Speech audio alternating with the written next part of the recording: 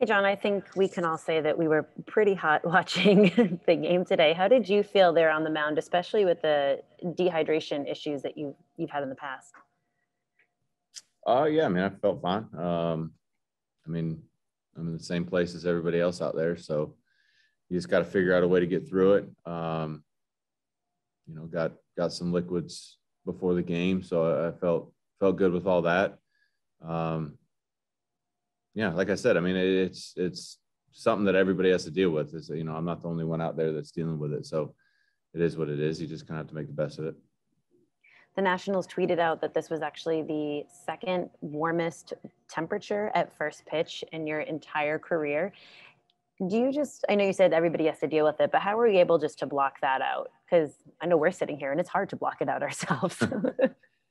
yeah, I mean, I think that's it. I mean, it's it's not like you know you can use it as an excuse. I mean there's there's 18 other guys that are playing in it and and or 17 other guys that are playing in it and have to deal with it and have to execute pitches and and have good at bats and and do all that stuff. So it's not like i'm out there by myself you know trying to do this. So um you know you can't control the weather. It is what it is and you just have to kind of kind of deal with it as as you go along.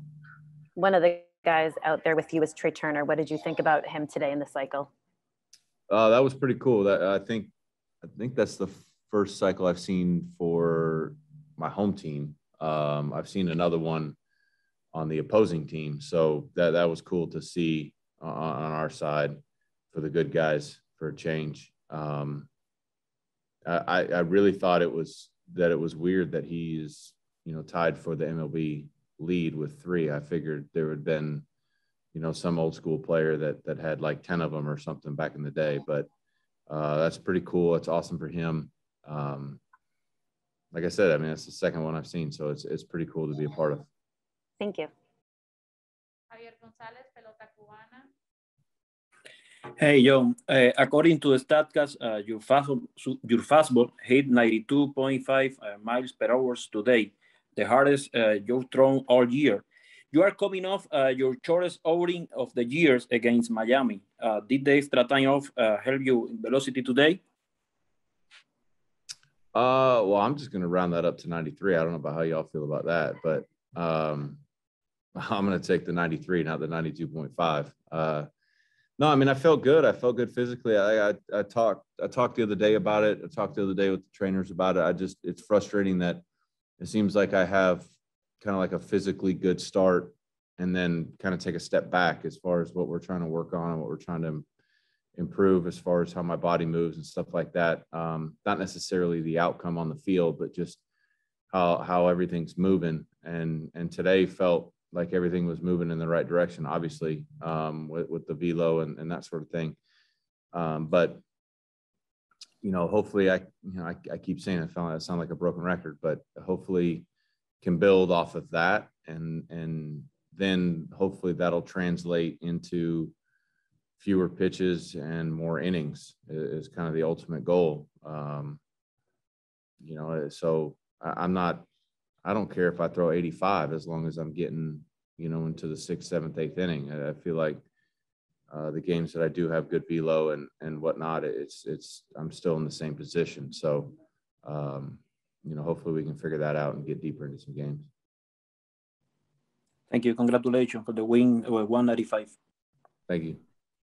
Mark Zuckerman, MASNsports.com. Hey, Jon, after a couple starts ago, when you, you go into the seventh, and I know you're real pleased with that, then the last one, uh, you know, you, you kind of talked about being upset, not being able to go deeper in the game just at this point in the season, where do you kind of feel like you are? Uh, where do you feel like there's still another place for you to get to where you want to be this season? Oh yeah, I mean, I I feel like I mean I don't, I can't use the building thing as as an excuse anymore. Um, I feel like I'm in a good place. I, I, don't I don't.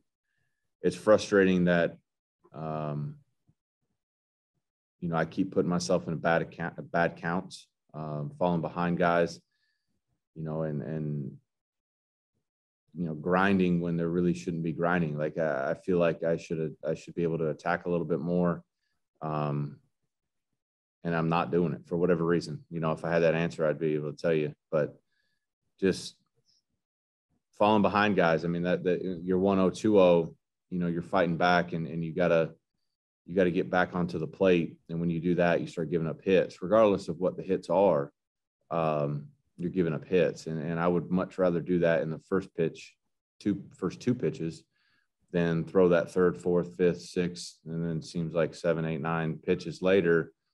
Now we're walking a guy, you know, and, and I've wasted however many pitches. Like it, pitches, if you if I give up a hit in the first pitch and move on, that's fine. They're beating me with that. That's fine. I can tip my hat all day to that. But when I'm continually grinding into at bats and you end up kind of finding yourself in a spot where you don't know where to go, that's where it gets really frustrating for me. Um, you know, the scouting report is it's not going to help you when they've seen six, seven, eight, nine pitches. You know, that that that's it's null and void then. Now it's just about blind luck and hopefully they hit it at somebody and I feel like I've I put myself in those those positions uh, too, too often this year. María Torres, The Athletic. Hey, Jon. Um, I, I know you're you're not a hitter, um, but you know you've you've been on the team now for for a while. Um, what have you noticed just about what Trey like gives to this team and what he means to that lineup? Obviously, I mean Trey's a big part of our lineup. I mean, facing him for so long on the other side. I mean, he's definitely a guy that, you know, you want to keep off base. You'd almost rather him hit a solo homer and, and kind of move on because when he gets on base, he wrecks havoc. You know, obviously, you, you guys have seen it for however long.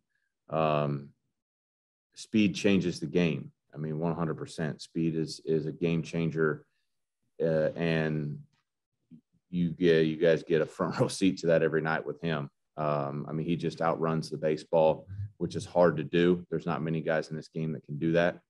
Um, and then to be able to hit for power as well. I mean, that's that's a crazy combo. I mean, most of the time when a guy's a runner, he's you know gap to gap, you know base hit type guy. But to be able to hit for power like he does, um, it, it, like I said, I mean, it, there's no other way to describe it. It's a game changer. And were you still in the dugout when he hit that triple? No, I was upstairs.